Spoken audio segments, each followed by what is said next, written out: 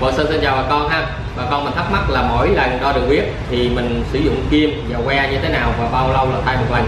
Và giá máy là như thế nào? Thì trên thị trường có rất là nhiều dòng máy khác nhau. Đó, nên là bọn Sơn khuyên ở nhà mình nên mua những cái thương hiệu lớn để được có trung tâm bảo hành kiểm định nè, và được bảo hành, và được bảo hành trọn đời luôn. Nếu mà mình nghi ngờ sai lệch, mình có thể gửi về hãng. Còn mình mua hàng trôi nổi, không có trung tâm kiểm định, có thể sai lệch thì rất là nguy hiểm khi mà mình sử dụng thuốc nha cái máy này à, sản xuất tại Ý là 1 triệu 150 ngàn. Mỗi lần đo là mình thay cái que và mình thay cây kim. Thì cái cây kim á mình gắn vào đây giống như cái cây bút bi nè mình kéo cò mình để vô tay mình bấm một cái nó chích. Đó mình nặng giọt máu ra và mình chạm vào cái que. Thì sau khi xài xong là mình sẽ bỏ một cái que và bỏ một cái kim này đi. Thì cái cây kim nó chỉ tốn khoảng từng một ngàn đồng thôi à, còn cái que này khoảng 10 ngàn đồng tức là mỗi lần mình đo mình tốn khoảng 11 12 ngàn đồng ha. Còn cái máy này sẽ bảo hành trọn đời nếu mình mua hàng chính hãng nha. Còn cái máy đo đường huyết ờ, à, 3 trong 1 thì nó vừa đo đường huyết nè vừa đo cholesterol và vừa đo mỡ trong máu là triglycerides thì khi mà mình xài thì mình sẽ thay cái mã code cho nó giống với cái hũ que. Hũ que nào mã code đó ví dụ mình đo đường huyết thì mình lấy cái mã code của đo đường huyết và cái hũ que nó. Còn khi đo mở trong máu thì mình lấy cái thẻ code bên trong này với cái que.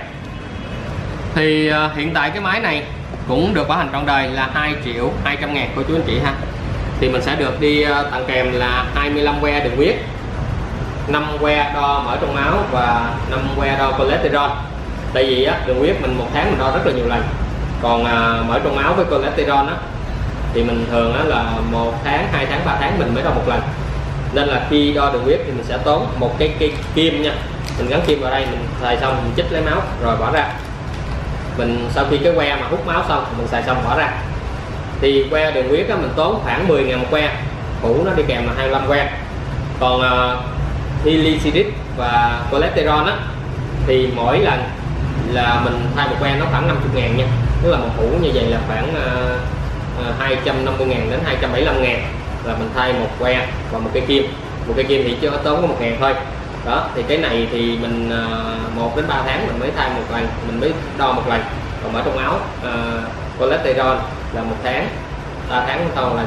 Còn à, đường huyết thì một tháng mình đo nhiều lần thì cái que đường huyết nó rẻ hơn nó có khoảng 10 ngàn một que thôi. Rồi giải, giải đáp thắc mắc của bà con nha.